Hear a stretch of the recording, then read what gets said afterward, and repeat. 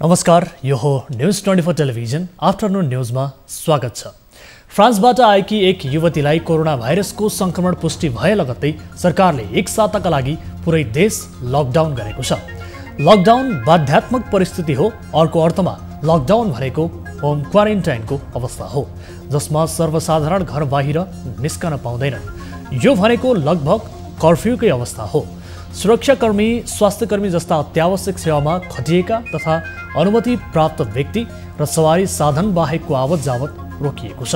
खाद्यान्न र अत्यावश्यक वस्तु ढुवानी गर्ने बाहेक अरू सवारी साधन चलाउने पाइने छैन।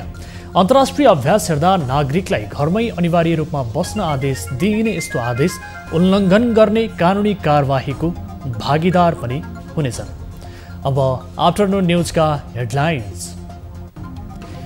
आजबाट एक साता नेपाल लकडाउन घरबाट बाहिर निस्कन नपाइने अत्यावश्यक बाहेकका सबै सवारी साधन बन्द।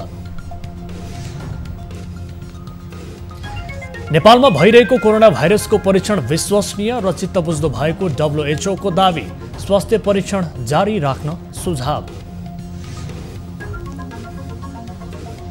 उच्च ज्वरो र रुगाखोकीले ग्रसित एक युवकको भरतपुर स्थित कोरोना विशेष अस्पतालमा मृत्यु।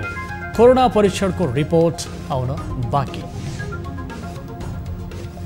कञ्चनपुरको गौरीफन्टा नाकामा तनाव जबरजस्ती नेपाल प्रवेश गर्न खोज्ने र प्रहरी बीच झडप।